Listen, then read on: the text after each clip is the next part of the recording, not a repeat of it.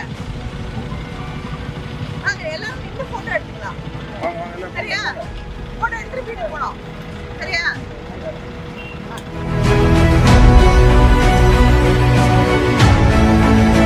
தூத்துக்குடியில நாடாளுமன்ற உறுப்பினர் கனிமொழி நடந்து முடிஞ்ச நாடாளுமன்ற தேர்தலில் தனது வெற்றிக்காக வாக்களித்த வாக்காளர்களுக்கு நன்றி தெரிவிக்கிற வகையில் தூத்துக்குடி மாவட்டம் ஏரல் பகுதிக்கு சென்றாங்க.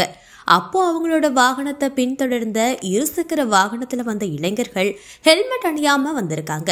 இதை பார்த்து திமுக எம்பி கனிமொழி தான் வந்த வாகனத்தை விட்டு இறங்கி வந்து ஹெல்மெட் அணியாம வந்த இளைஞர்கள் கிட்ட ஹெல்மெட் எங்க? இனிமேல் ஹெல்மெட் அணியாம வரக்கூடாதுன்னு அன்பா அறிவுரை சொல்லியிருக்காங்க. பின்னர் தன்னுடன் புகைப்படம் எடுத்துக்கொண்ட இளைஞர்களை பத்திரமா வீட்டுக்கு செல்ல வேணும்னு அன்பு கோரிக்கை விடுத்து அந்த இளைஞர்களோட புகைப்படம் எடுத்துட்டு இருக்காங்க. எம்பி கனிமொழி ஹெல்மெட் அணியாம வந்த இளைஞர்களிடம் அறிவுரை கூறி அனுப்புற வீடியோ சமூக வலைதளங்கள்ல வைரல் ஆகிட்டு வருது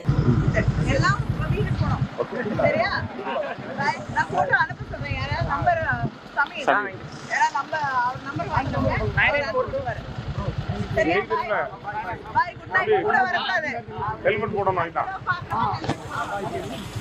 இதுபோல சுவாரஸ்யமான பல பயனுள்ள தகவல்கள் மற்றும் உடனடியான செய்திகளுக்கு இ தமிழ் நியூஸுடன் இணைந்திருங்கள்.